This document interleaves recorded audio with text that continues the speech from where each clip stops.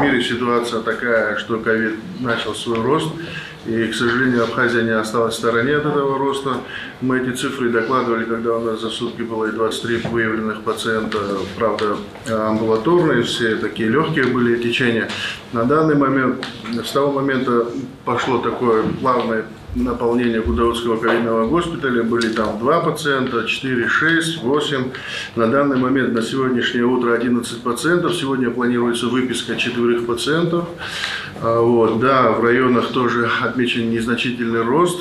Мы ПЦР-диагностику возобновили, возобновили практически во всех районах. Ситуацию мониторим. Как вы сказали, да, мы будем собирать оперативный штаб, ситуацию будем дальше также ну, информировать население в том же формате, как мы это делали раньше. Пока на данный момент такая ситуация. Я читал, что Спутником V, вот этим двухкомпонентным, не рекомендуется э, вторично прививаться. Спутник Лайт, да, рекомендует. У нас Ну, у нас все, есть. да, все это в этом формате мы тоже проводим информационную работу с населением.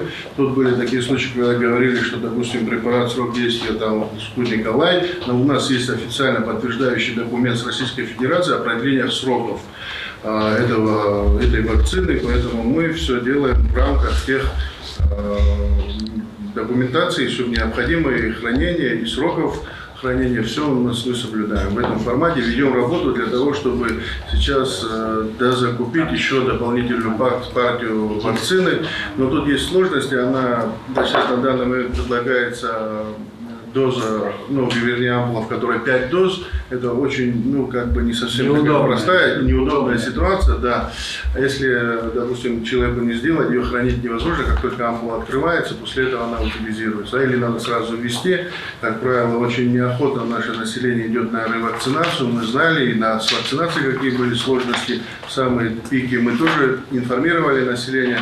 Это как бы такая отдельная информационная работа, которую мы в ежедневном формате проводили, проводим и будем проводить. И мы говорим о том, что надо ревакцинироваться. Штамм, конечно, да, он другой. Имеется в виду, микрон он более мягкий, но все равно заболевание оно какое-то время дало нам для передышки. Сейчас оно плавно, плавно опять во всем мире идет к росту. Поэтому мы эту ситуацию, как я уже говорил, мониторим, наблюдаем во всех районах. Наши коллеги плотно занимаются этим вопросом. Вакцинировался, значит, охрана, приемная. И рекомендую аппарату то же самое делать. Ираклий, твой вопрос меня наводит еще на одну мысль. Это без обид.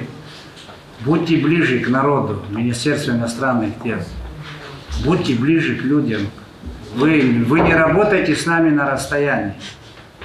Ираклий, если вы должны этим заниматься в том числе, вы должны, то, что касается разъяснительной работы по борьбе с ковидом, ну, неплохо поработали все. Я не имею в виду себя, имею в виду средства массовой информации, само министерство, врачи. Но те факты, которые имеют место быть, особенно в столице и в Гудаутском районе, говорят о том, что надо бдительность по-прежнему Осторожность есть. осторожность и ничего нельзя исключать.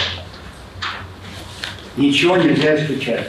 Наверное, те, кто лежит сегодня в Гудаутском госпитале, это те больные, которые имеют сопутств побочные другие заболевания. Да, да? соматическую патологию, да, сопутствующие имеют, да, которые, которым присоединился этот Присоединился ковид, и Да. для того, чтобы поберечь людей, их госпитализировали, верно? Абсолютно верно. Также есть класс пациентов, которые лечатся амбулаторно. Их тоже есть определенное количество в районах. Мы эти службы усиливаем, терапевтов и наших инфекционистов. Определенный запас кислорода у нас в хранилищах есть. Хочу сегодня вот сказать, пользуясь случаем, сегодня хочу пригласить для вручения медалей сотрудников станции кислородной Сумской, которые тяжеленные условия и погодные, и ковидные, в круглосуточном режиме пытались максимально выдать то количество кислорода, которое может выдать станция. Поэтому сегодня в 15 часов я их пригласил в Израиль. Подсказываем, пригласите Максима Епифановского. Я, я не шучу, я не шучу. Говорю вам, не было бы этого парня, да, абсолютно, которого да. большинство сидящих не знает. У нас это У нас были бы очень серьезные проблемы с кислородом. Он, житель Сочи, он нам очень помог в критические часы, говорю вам, критические часы. Он нам очень помог. Он делал невозможные вещи. Прямо говорю вам об этом. И поэтому труд всех надо как-то отметить, да, как это мы можем сделать. Мы сейчас по Ну, раз так, врачей. пожалуйста, Да. пригласите сейчас руководителей служб скорой помощи, проинструктируйте. Надо готовиться. Надо, это не значит, что так будет, но готовиться надо.